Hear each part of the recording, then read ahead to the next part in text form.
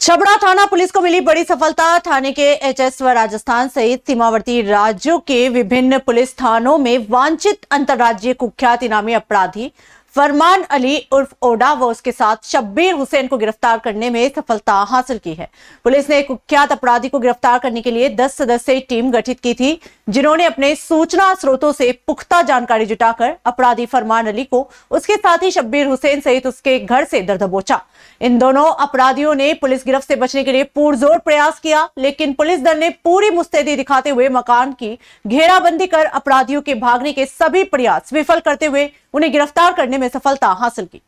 हमें हमारे intelligence input से पता चला कि ईरानी गैंग के, अंतर्राज्यीय गैंग के दो सदस्य ईरानी बस्ती छवड़ा में छिपे हुए हैं, जिस पर मैंने श्रीमान टाइगर साहब, एसपी साहब को सूचित किया। एसपी साहब ने मुझे फीडबैक और दिशा निर्देशन देकर स्पेशल टीम्स के द्वारा दबिश डालने के निर्देश दिए, जिस पर मैं टीम मैंने जब दबिश डाली, पूरा कॉर्डन करके उनको घेरा था तो पुलिस देख के वो भागने लगे, इनको हमने कॉर्डन करके पकड़ा।